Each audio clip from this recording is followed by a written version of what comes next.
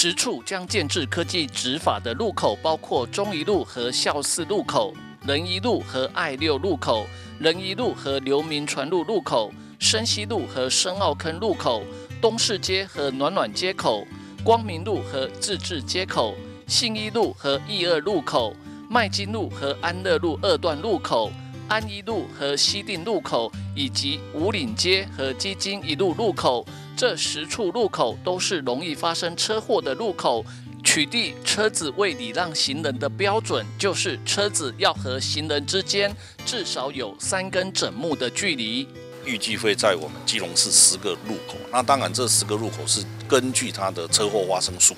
还有民众的检举数据衡量。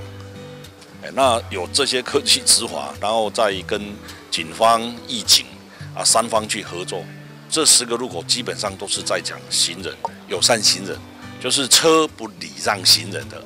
科技执法。换句话说，如果你车子到了是那个路口，你要礼让行人，至少要有三个整目。因为科他会判断，他还是用 AI 的那个技术来判断。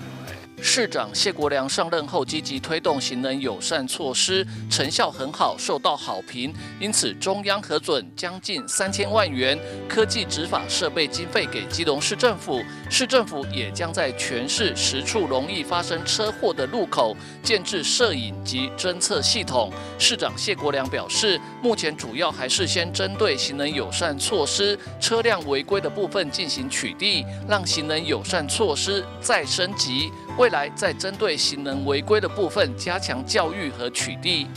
车辆需要礼让行人这个部分，我们非常重视。另外，我们最近也针对了晚上有噪音影响到居民的安宁的时候，我们也在加强执法。但是，我们的科技执法在基隆有一些设备会越来越提升。科技执法是比较适合在重要大型的路口，所以我们在十个路口有这样子的一个机制建立。那当然，我们希望驾驶朋友们慢慢内化成他们的一个驾驶文化，要做更多的礼让。另外，我们也有义交弟兄们啊，在比较多一些中型或小型的路口，也在协助执法，维护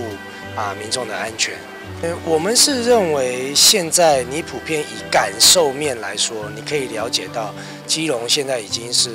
全国最会被啊行人最会被礼让的一个城市路口之一了。那但是你如果从这个交通事故的情况来看，那我们会觉得说，呃。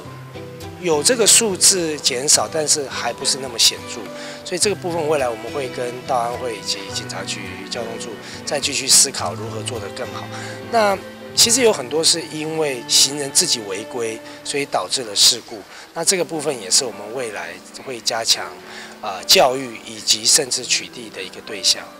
至于什么时候可以建制完成开始实施呢？警察局方面预估，大约明年中旬就可以全部建制完成。个会过了，我们就开始发包建制，大概要有大概六个月以上的时间。因为基隆这边有多雨，有雨从从现在开始进入雨季，可能这个工程会有一点延宕啊。不过我们会针对这四个路口，也是编排适当的警力跟移交来执法。